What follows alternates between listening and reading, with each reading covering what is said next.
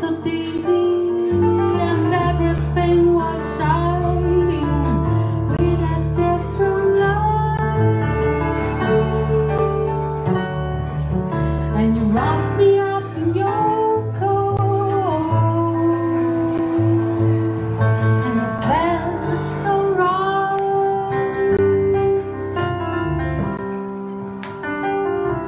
We were very tight, we were very happy,